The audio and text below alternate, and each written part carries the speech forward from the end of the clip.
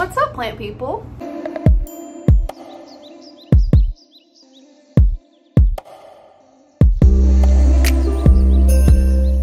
I am so excited to film today's video.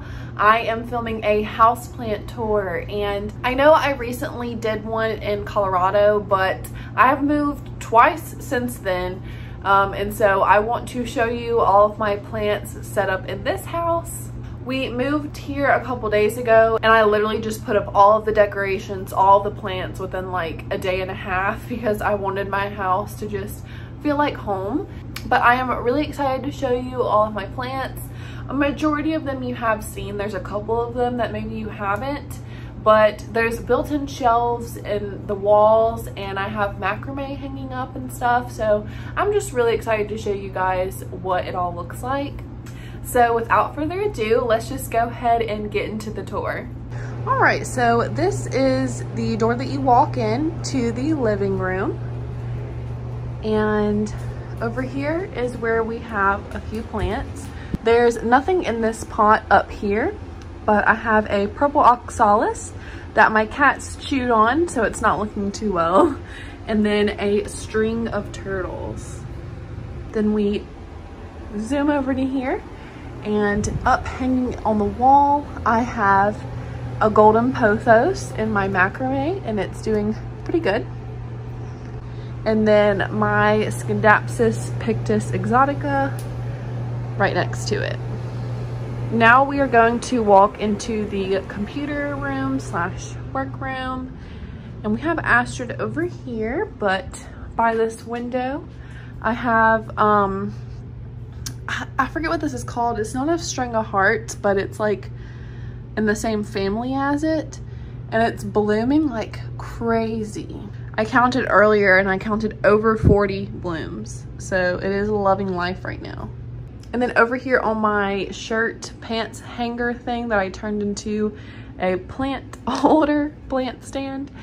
Um, starting from the left, I have a wide leaf Monstera adansonii, and it is loving life as well. It's been producing lots of new leaves. Then I have a pink syngonium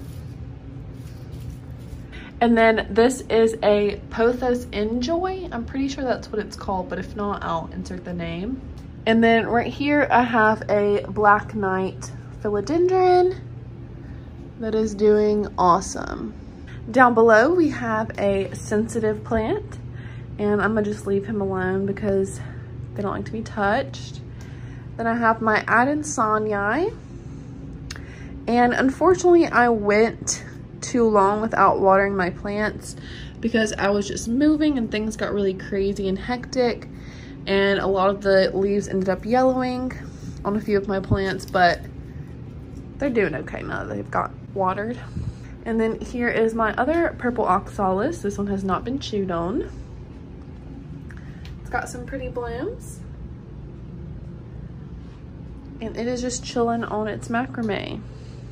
So now we're going to head into the bedroom.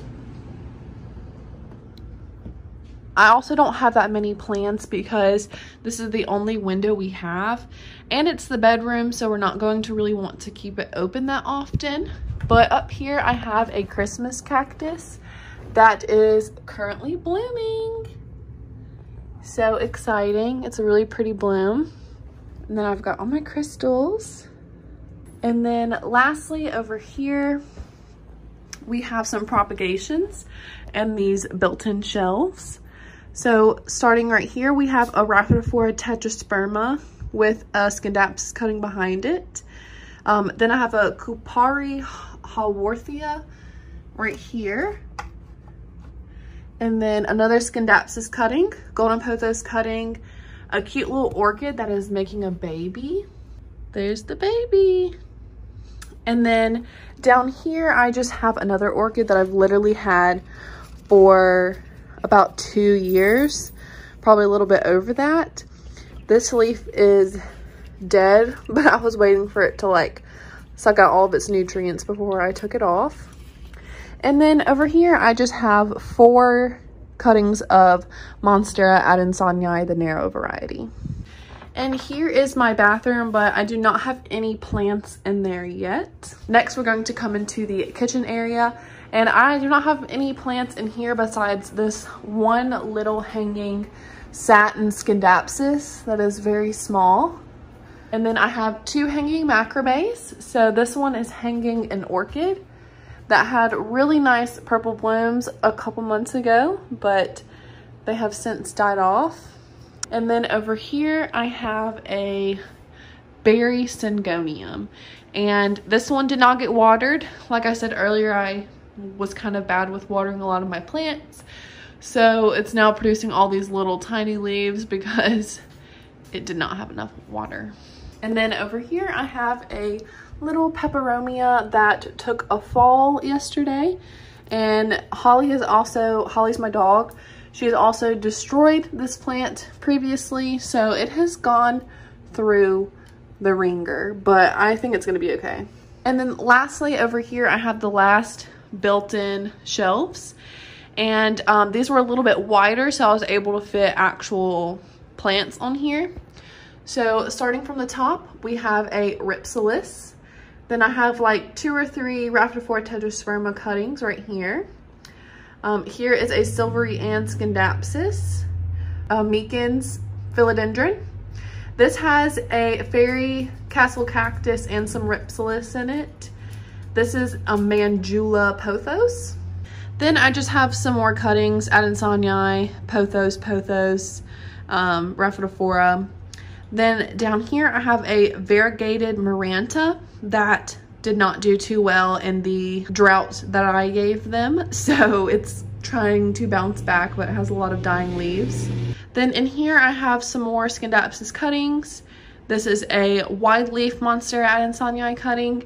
And then here is my original Rhaphidophora tetrasperma that I took all the cuttings from. The reason I had to cut all of the leaves off of my Rhaphidophora was because it kept transitioning from inside to outside and there was just lots of moving. So some leaves were small and then some leaves were gigantic and the leaves on top were the like gigantic ones. So it was starting to become lopsided and just wasn't looking good. So I cut them up so that way whenever they get roots, I can just put them all around the side of the pot so it won't be struggling as much. So I hope you guys liked the tour. I am really loving this house so far and I cannot wait to fill it up with even more plants. As I've been literally telling everyone, I want spring of 2021 to just be magical.